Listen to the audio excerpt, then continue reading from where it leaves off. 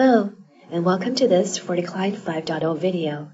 In this video, you'll see how to perform remote client provisioning over VPN. In order for a remote endpoint to access the corporate LAN network, it must first establish a VPN connection with the FortiGate. Once a connection has been established, the endpoint must register with the FortiGate, which then deploys the endpoint profile. Access to the corporate LAN network is only granted after the endpoint becomes compliant. Both the FortiGate and the endpoint will have to be set up to support this topology. Let's start by provisioning the FortiGate.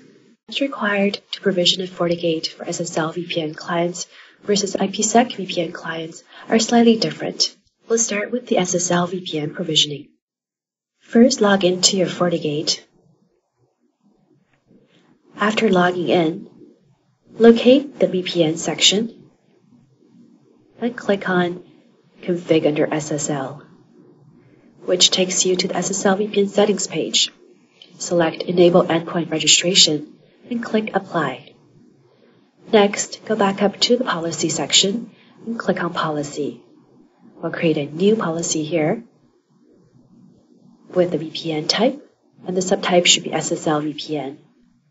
The incoming interface will be set to our WAN interface and remote address to all. The local interface will be our switch interface, and the local protected subnet is the internal subnet. Next, we'll create a new authentication rule for the pre-configured sales group.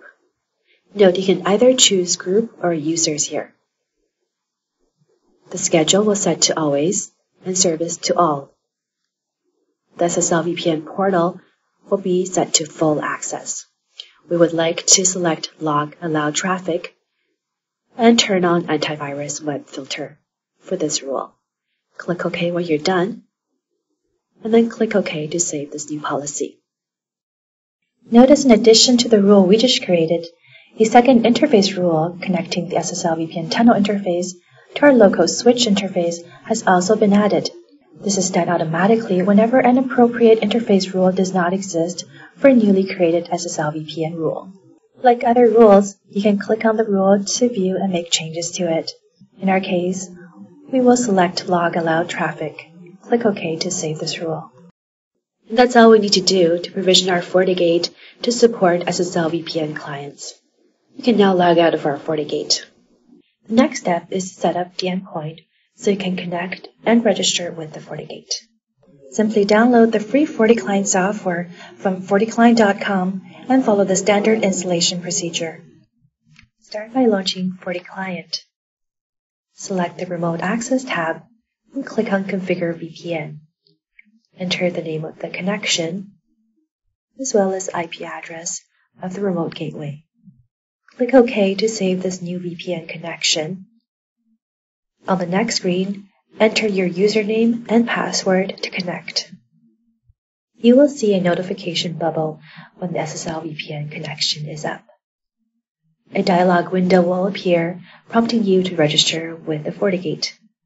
Click Confirm to register with the credentials shown. After successful registration, the FortiGate will automatically deploy the endpoint profile.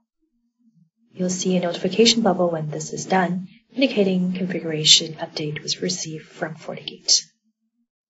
With the newly compliant endpoint, we're now able to access the corporate LAN network.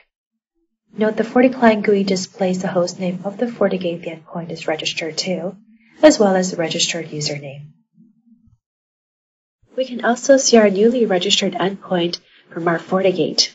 Log into the FortiGate under User and Device device and device definition, you'll be able to see the newly registered endpoint and details of the device. Now similarly, we can set up endpoint protection for endpoints connected over IPsec VPN. Start by logging into your FortiGate. Under VPN and IPsec, we'll create a new VPN connection with the name Remote VPN. The local outgoing interface will be set to WAN and we'll enter a pre-shared key. The user group will be our sales group with an address range start IP and end IP as well as subnet mask as shown. Also, we'll need to select internal subnet as the accessible network. Once you're all done, click OK. A warning to configure the appropriate policy. Click OK. So we'll go ahead to the policy page. Under Policy and Policy, we'll create New. The new policy will be based on device identity. Set the incoming interface to our remote VPN. The source address to all. And outgoing interface to the switch interface. Also enable NAT and click Create New to create a new authentication rule. This rule applies to all destination address for Windows PCs as well as Macs that are compliant with the endpoint profile. We'll set the schedule to always and service to all. Action will be to accept. We'll select the option to log allowed traffic and turn on antivirus. Click OK. After setting the authentication rule, we can select additional policy options, including attempt to detect all unknown device types before implicit deny, and also redirecting any non-compliant FortiClient devices to a captive portal for Windows PCs as well as Mac OS X devices. Click OK when you're all done. The steps to configure your endpoint to connect and register with the FortiGate over IPsec VPN are very similar to those of the SSL VPN.